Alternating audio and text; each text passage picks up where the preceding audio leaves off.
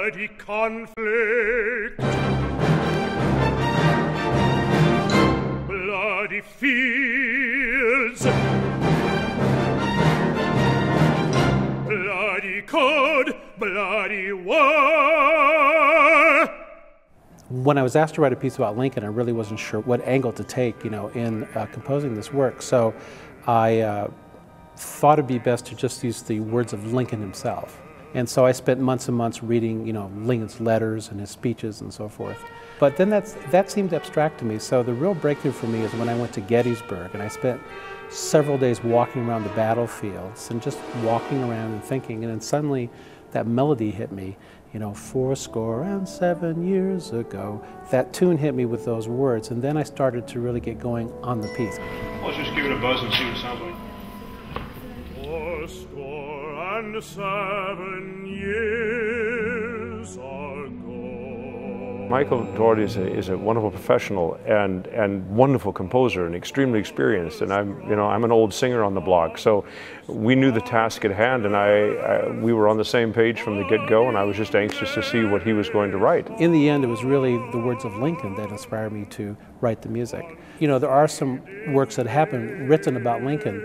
Uh, most of them tend to be speeches, and what I wanted to do, I think, which makes my piece very different, is that these words are sung and there's a dramatic element to the words uh, that are musically evoked. Um, what was very challenging was how to take these words and somehow give them a shape and structure. Write something that's meaningful but is not too sentimental, and, and at the same time to, to give it the edge and to give it the historical power that Lincoln's words have.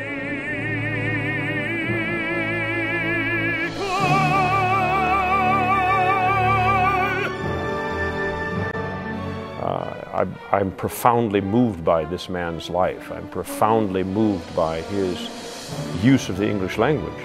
I think it's some of the most beautiful, uh, metaphoric, symbolic writing that, that we, we have. One of the things I wanted to do was to evoke the certain sides of his personality. So, so during the piece, we, we hear the humor, and he was a guy that was that was very funny.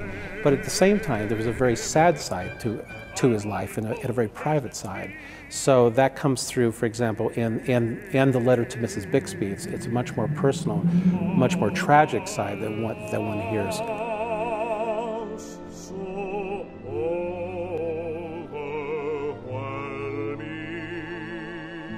And then um, there's also, you know, Lincoln as the great speechwriter.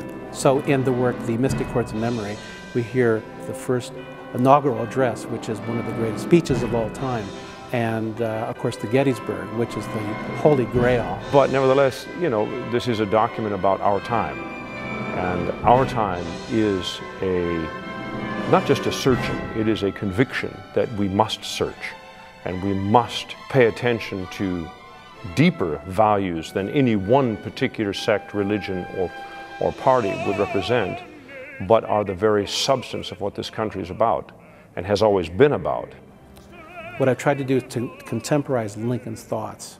By doing that musically, one of the ways I've done that is in today's music, I'm a generation of composers who's not afraid to use different kinds of musical styles. And so to evoke Lincoln, I'm using music from the Civil War period, but I'm using opera music, I'm using contemporary music. Uh, there's elements of, uh, of jazz sometimes, or even rock and all put together in a way to take the words of Lincoln but put it into the present day. And I think this piece is a culmination of things I've been doing for about 20 years in my music. And uh, I want to, to thank and uh, commend uh, Spokane to even think about commissioning this piece about Lincoln. In fact, it's really the only major arts organization in the United States that has commissioned a piece for the bicentennial Lincoln. It's been a wonderful collaborative process. I don't think we've, I don't think we've left any stones unturned. I think we've done, we've done a terrific collaboration.